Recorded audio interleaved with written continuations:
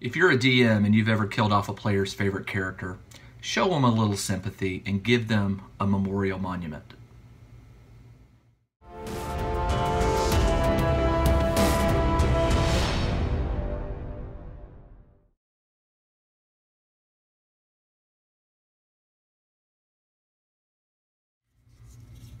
In this episode, I'm going to show you how to make this small monument.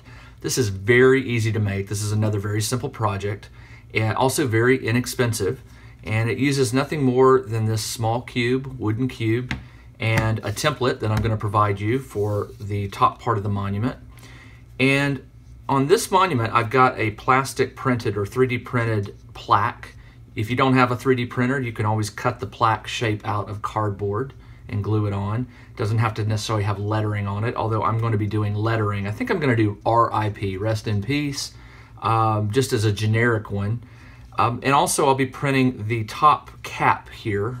Um, again, any small small trinket item could be glued on top as decoration, but I'm going to print a small pyramid or a small, I don't know, maybe a half sphere or something to cap it. So let's get started and see how this is made. The template for this project comes with three of these pyramid shapes per page. And again, I'll include the I'll, I'll include the link to download this in the description for this episode. But you'll want to print it out. I'm printing it out on cardstock. You could print it out on regular paper. You could even cut it out and then trace it onto a heavier material like chipboard or maybe the cardboard that comes from a cereal box. Now, what I'm doing is I'm going to paint the block in this black before I assemble it because I've made a few of these uh, before. And the one thing I didn't like was there's some nooks and crannies uh, between you know when this goes on the on the cube there's some nooks and crannies that are very hard to get into. And one other thing you're going to want to do to this is obviously um, fill it with something now, I fill mine with a, a, variety of things. When I first started making these, I would glue it all together and then I would stuff used sponges that I, I did uh, sponge painting. I would cut them up into little fragments. I would put them in here and with some hot glue and it would make it nice and sturdy. Now what I've been doing is just some aluminum foil. I just crunch up some aluminum foil, kind of squeeze it and shape it in my hand so it goes up in there and it's been doing just fine. So um, I'm going to go ahead and fold these last few tabs down and then I'm going to paint the the template black and I'm going to paint the uh, the uh, the pattern black and I'm going to paint the cube black. And you don't have to go heavy on the cardstock because it's thinner paper. Uh, just put a couple dabs down and spread it around. It'll do just fine. Um, it just has to have a, a flat black on it just for something for priming purposes. But there we go. That's the um, that's the pattern right there. And that's good enough. A little bit extra right there. And now the cube.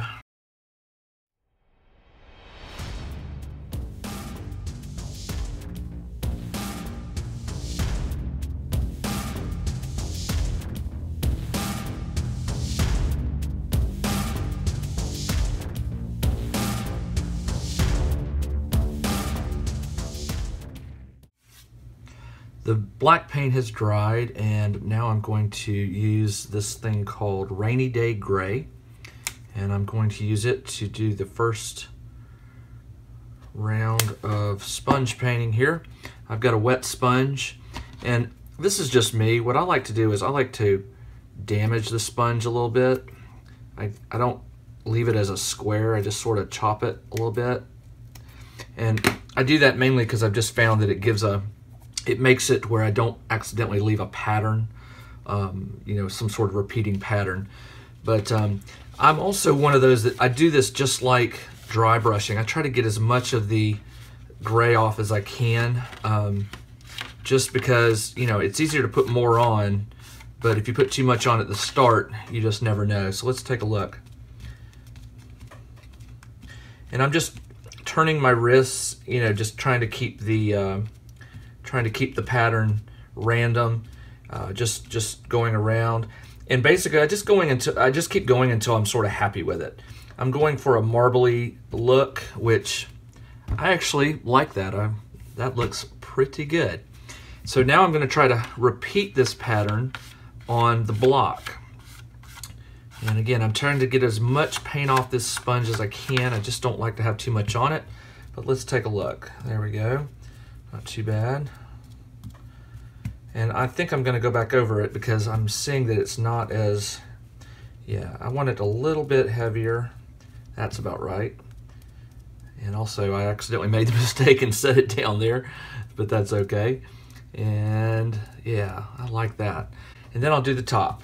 And the top is got a rough surface, so it's it's gonna have to go a little bit more. I'm gonna let that dry a good bit and then I'll assemble it, uh, put some aluminum foil in here for, for uh, strength, and then glue it all together. The paint is dry, so I'm going to use tacky glue to seal the pattern up here for the top pyramid. And remember I pre-folded this, so should go together fairly easy. And with tacky glue, sometimes you just have to hold it for a few seconds to let it let it get uh, let it get attached real well. And what I'm doing is I'm going to get the edge lined up and I smeared the glue. I'm going to wipe it down. I'm going to keep wiping it so it doesn't damage the edge here. But I've compressed the pattern a little bit just so the tab will glue a little better. See how I did that? Now you can see it along the edge. It'll dry a little clear. And if I find that the um, if I find that the gap here doesn't look right, I can always get some paint and do some touch up with it. But right now, it's looking pretty good. There we go. Just like that. Now I'm going to go time lapse um, in just a second, but what I'm going to do next is glue this top flap down and then I'm going to get some aluminum foil and fill this fill the uh, the monument top up so it's going to go kind of like that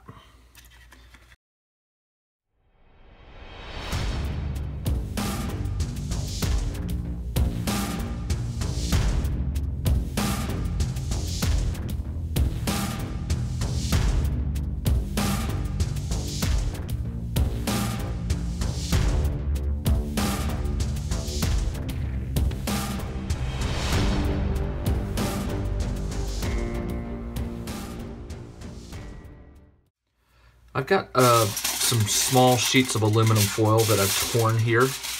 And you don't need a lot of aluminum foil. You do not need a lot of it to fill this up. And also when you're bundling the aluminum up to stuff inside, you don't want to squeeze it super tight. You don't want this super compressed. You want to loosely do it initially. And then you want to start forming it in the shape of the, the pyramid, and which means a flat portion on top here and then sort of an angle down. So again, it's starting to get tight, but I can tell that it's gonna fit inside there at least. And then just do a test fit. Yeah, it goes up in there. And you don't want the sides bulging, but if it does, you can squeeze it just a little bit. Don't, you know, you don't want to damage your glue joint, but if you squeeze it just a little bit, this is pretty, this is pretty solid. It's, the aluminum is in there. And as you can see, I've just got a little bit left to do here. So I'm going to do that now. And tear your sheets in smaller quantities so you can use the minimum amount. I see roughly how much I need to fit in there. So I'm going to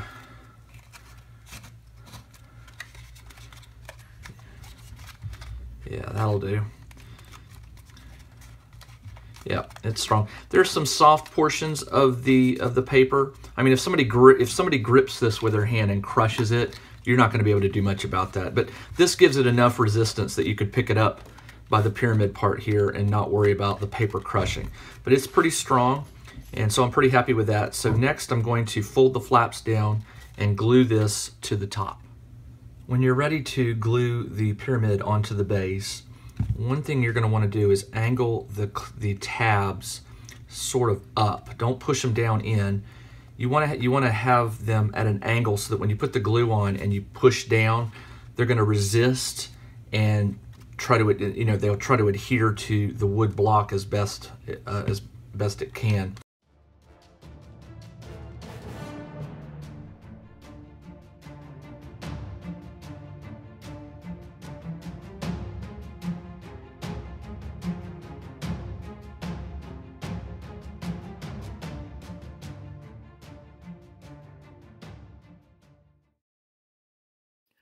What I'm doing now in Tinkercad is I have a large gray block that represents the larger base of my monument. And I've dropped a red cube on the work plane and I'm going to size it down. This represents the plaque that will be uh, glued onto the front of the monument.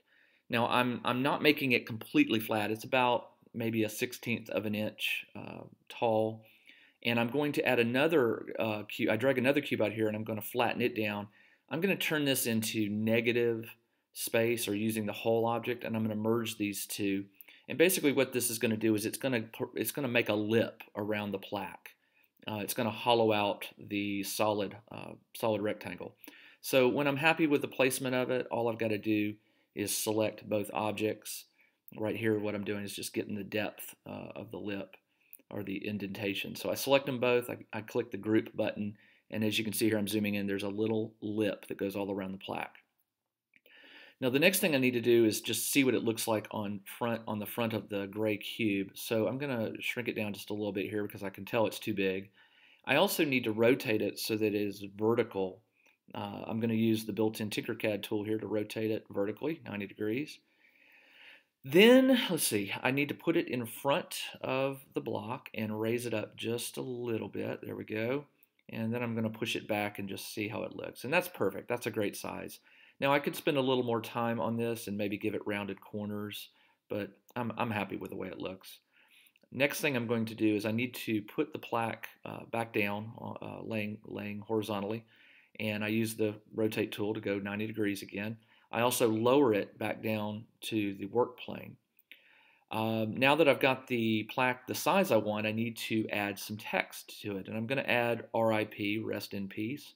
So I go in here to the text tool and I drop a text item or a text object on.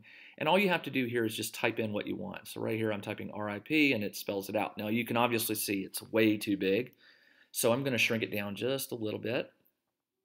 And I move it near the plaque and I can see it's still too big. So I shrink it down a little more. Then I merge it, and the P is touching the right edge, so I'm just going to shrink it down just a little bit more. And next I need to center the word RIP or the letters RIP with the plaque. So I select both objects, the rectangle and the letters RIP, and I go up and I use the align button and I use them to align them along the center axis. Now what I've done is I've added a star, but you can see the star is not quite angled properly. So I'm just going to rotate it a little bit, straighten it out. It's also too big for the plaque, so I'm going to shrink it down just a little bit more. When I drag it in there, you can see it's, it's kind of hidden, so I need to raise it up just a little bit, which is what I do here. And um, made a little mistake there, fixed it. And I put it right where it needs to go, but I, I still need to center it. So I'm going to select all the objects and use the Align button one more time to align the three objects, the RIP, the star, and the plaque. I'm going to delete the gray cube because I don't need to print that. The only thing I have left to do is add the cap that will go on top of the monument. So I'm going back to the basic shapes here, and I'm going to choose the pyramid object. I drag it out there. Now I want the pyramid, the cap to be small, so I'm going to make sure it's it's less than half an inch, which is about the distance I have on the top of the monument. And that looks to be about right right there. I can also rotate the view and play with the height a little bit, or the uh, the, the yeah the height of the object. Here I'm playing with it, stretching it. So I'm gonna I'm gonna make it sort of semi-flat. And the 3D printer will print the objects exactly as they appear on the work plane. So I'm going to move them closer together just so it saves some time in the 3D print eh, in the 3D printing when that happens. And the last step is to export the STL file and save it to my computer. Now, when I save it to my computer, I connect my computer to my 3D printer and I start the print job and as you can see right here the 3D printer is just going along.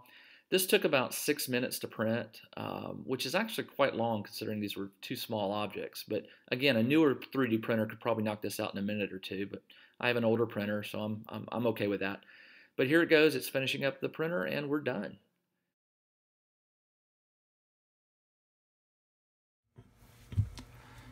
After printing out the little plaque and the top that will go on top of the monument here.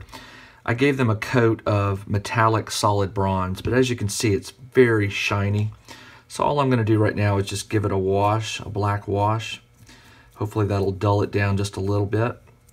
And after that, I'm going to glue the plaque and the top uh, on, and that will be the end of the monument.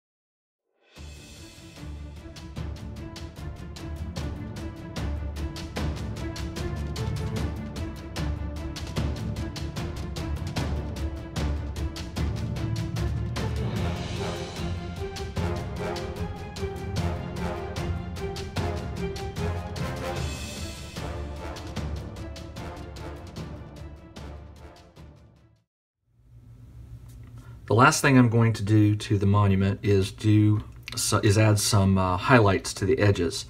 So I've got a wet sponge here, and again, I'm just gonna damage the edges a little bit so it's not a perfect square. And I've selected for the color, it's called Heather Gray. It's a very, very light gray, almost a taupe. And I'm hoping to just get a little bit on the edges and again, as I sponge painted the whole monument, I'm trying to get as much paint off of this as I can. I really don't want a lot on there. So I'm just gonna hit the edges.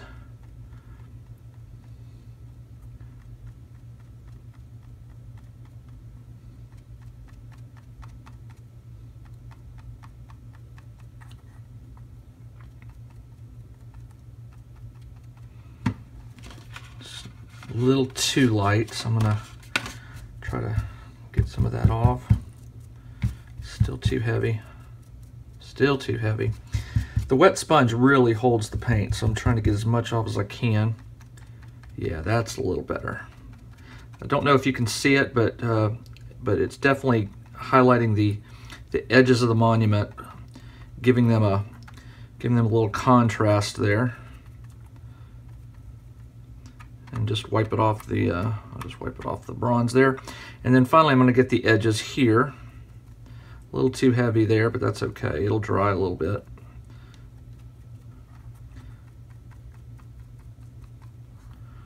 And I thought about doing the, uh, the, the plaque, but then I decided no, it's bronze. It wouldn't, probably wouldn't go that route with the color.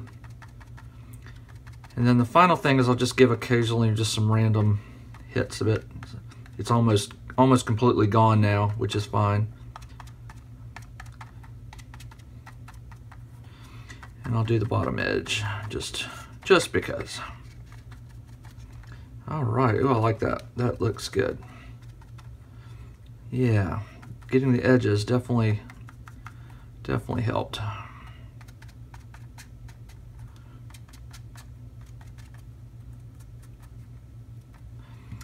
There you are, the completed monument.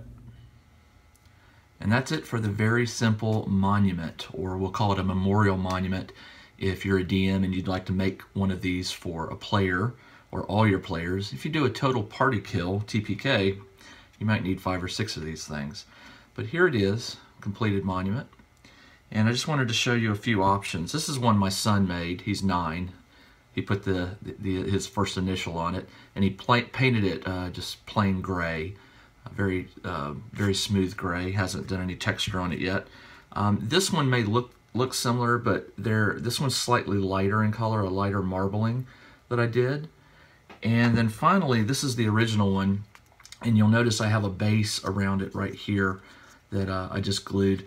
Um, originally, when I put that on, I thought it would be a good idea. The the cube is heavy enough that this thing sits fine. But, um, you know, if you want to put a, put a flat base on it like this, go right ahead. But these make great little, um, great little objects for your table for preventing line of sight or, you know, blocking line of sight. Um, great obstacles to hide behind, great obstacles to tip over. Um, also, like I said, the original idea for these was something that I could give my players uh, after I killed one of their characters off. Um, I keep I keep a few of these in my bag now, and if a character dies, you know, they get the memorial monument. So I hope you liked this one. Again, another very cheap, very uh, inexpensive and easy to do project. Just a couple things. Um, I will put the template for the top here uh, in the download, in the uh, description. And of course the cube was, I think I bought like five or six of them for a few dollars. And again, if you don't have a 3D printer, uh, you know, just a just a cardboard piece to, to represent a plaque would, would be fine. Um, I did have somebody email me and ask me um, if I knew, you know, they asked me about 3D printers, you know, a lot of questions about, you know, what's the cheapest one, what's the most expensive one, are, are there places that have 3D printers you can use? And the answer to that is yes. Um, you may want to check with your public library. And the reason I say that is a lot of public libraries these days have laser uh, have uh, 3D printers, uh, not laser cutters yet, 3D printers, and they make them available to you know uh, people who who are, are, I guess members of the library. Um, my library does have them. I live outside the city limits, so I have to pay a $25 a year fee to use my public library. But if I didn't have a 3D printer, $25 for you know access to books, um, but also access to the 3D printer, that's not a bad option. And there are online services such as Ponoko, P-O-N-O-K-O, and Shapeways, and what's the other one? i.materialise.com. Those are all great websites that will print things for you. Now, granted, you have to, um, you know, wait a few days or weeks or whatever, depending on the material. But like iMateri- i.materialize, they can print in plastics, metals, ceramics, you name it. They've got all kinds of materials. I think they'll even print in carbon fiber these days. So if you want something really durable, but um, check with your check with your public library. The other thing you may want to do, depending on your the size of the city or town you live in, is uh, if you've not heard of something called a makerspace. A makerspace is kind of like a gym. Uh, people pay pay a fee to join it, and then they have access to tools. And a lot of times, the makerspaces will have tools such as laser cutters, 3D printers, CNC machines, uh, tools that that make it you, you know that could, can give you um, the training to the, the, the, makerspace will give you the training and then the makerspace will give you access to the tools. So check your public library check to see if you have a makerspace nearby and if you don't uh, the final thing I'll say about 3D printing is there are some very inexpensive 3D printers out there usually around the $200 mark uh, I don't really have any experience with them I've seen some of them in use and they seem fine the difference would be that they might print a little, print a little slower and the quality of the print may not be as good as the higher end ones. The printer I have is about three years old. Uh, I paid about 700 for it at the time. I was writing a book on it, so it was a business expense. But three years from, you know, here it is three years going on, and it still runs. It, it prints what I need. Um, you know, it doesn't compare to some of the newer printers that are out there for this for the price I paid. But, you know, it, it does what I need lets me print out little things like this for, for my games. So if you have any questions, please post them in the comments. I hope you liked this project. If you did, give me a thumbs up. If you didn't, give me a thumbs down. Um, I'm just starting this channel, so again, I'm going to start with some simple projects, but I am going to move up with some more advanced projects. So stay tuned, and I'll see you next time.